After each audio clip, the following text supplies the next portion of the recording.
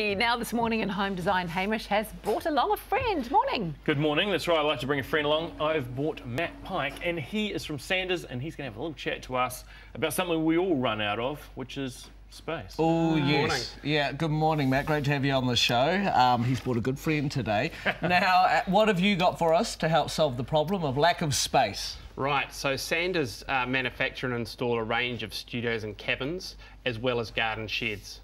So they basically uh, start at 10 square metres and work their way down to a small as you like cabin for putting in garden tools and implements. Really? So you can do skinny ones as well? We can do skinny ones and fat ones, any size you like. You can do skinny ones that would fit between a fence and a garage where somebody's tried to build themselves a dodgy shed before? If I can find a skinny enough installer to fit through there, yeah, Good. sure. Just like to clear these things up. So what are people using them for? So mostly they're used for um, extra space for storage but uh, our 10 square metre buildings are able to be lined and insulated and have power into them, so they can be used as a home office, a hobby room, a gym, or even just to throw your kids in there when they're making too much noise. I think the throwing the kids in there is an ideal thing to do with them. Got three boys, they would we would all do very well for them to have one of these. Yep.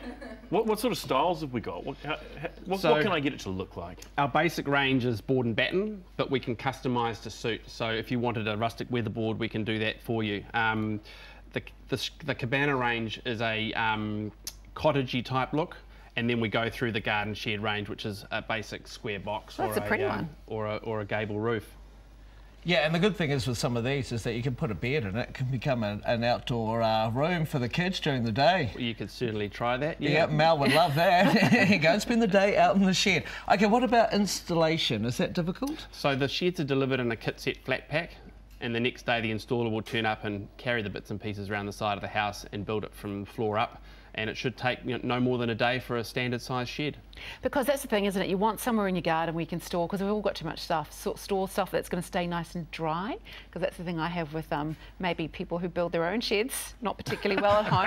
You, you, everything in there gets wet and there's no point in it. Yeah, so all our timber sheds are, um, are lined and they all have um, uh, they all have a nice dry appearance to them, so there's no water tightness issues at all. Awesome. So if we want to find out more? Uh, go to sanderspremier.co.nz uh, or you can call us directly on 0800 12 22 32. And you know, when you look at, I guess, the, the housing market around the country, a lot of people buy houses, and the one thing that they forget to check is storage. So they move everything in, then they run out of room, and they've got precious memories that they want to keep in a safe place. Would these sheds be perfect? Absolutely, yep, absolutely perfect. They're as dry as a bone, and yeah, you're absolutely right. The um, storage today is, is limited in a lot of the new housing that's getting built, and there's a lot of people with beach places that are growing with family and they don't want to put another room on the house at a cost of a fortune. They mm. just want to put a bit of a extra space there. Exactly. That'll save you a bit on the renovation, wouldn't it? it yeah, yeah. Would, yeah. And how long does it usually take to get one of these sheds designed? So basically, from the time you place your order to installation, it's between four to six weeks. Oh, nice. Okay, And okay. how long does it take to put them up? Well, if it's a fully lined and insulated model with electrics, probably three days. Um, otherwise, it's more, no more than a day. Okay, Matt, I need you to recap for me because you started at the top of the show. Did you mention electricity? Just yes. take me through the basics again. So yep. they come with what? So we, we can sell you a kit set that has um, no lining or insulation or wiring, but then to, to an upgrade, you can have um, all of those three things added in.